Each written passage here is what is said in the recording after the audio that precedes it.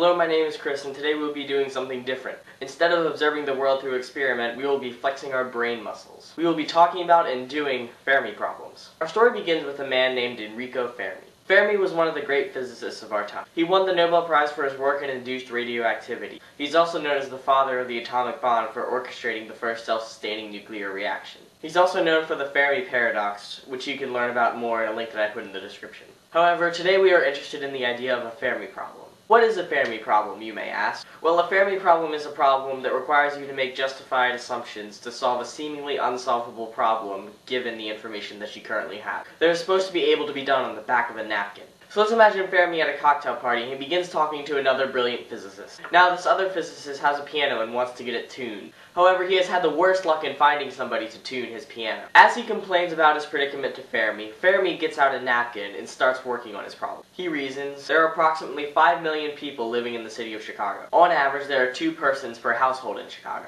Roughly one household in 20 has a piano that needs tuning. Pianos that are tuned regularly are tuned once per year. It takes a piano tuner two hours to tune a piano, including travel time. Each piano tuner works 8 hours a day, 5 days a week, and 50 weeks per year. From these assumptions, we can compute that the number of pianos that need tuning in Chicago are 5 million people in Chicago divided by 2 people per household, times 1 piano per 20 households, times 1 piano tuning per year is 125,000 piano tunings in the city of Chicago every year. Now we estimate how many piano tunings the average piano tuner performs per year. So the piano tuner works 50 weeks per year, times 5 days a week, times 8 hours a day, divided by 2 hours per piano tune. That adds up to 1,000 piano tunings per year. Now if there's a total of 125,000 piano tunings per year, and the average piano tuner tunes 1,000 of those, then we can estimate that the number of piano tuners in Chicago is about 125. Okay, so that's an example of a Fermi problem. Next time we do more. See you then.